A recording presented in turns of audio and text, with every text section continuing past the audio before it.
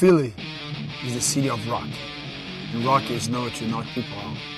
So on Philly, August 6th, I'll knock him out. So don't get your popcorn, don't get leave your couch.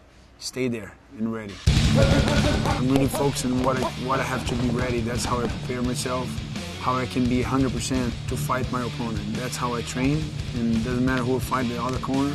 I fight for be I can be 100% and put a great fight for the fans. Akiyama is he's a stand-up guy, you know, he likes to bang, great judo throws, you know, he's he's pretty tough guy and he really likes to stand and trade punches. When you have four ounce gloves in your hands, fight can end anytime. Fight smart, sharp, train hard, and do your best.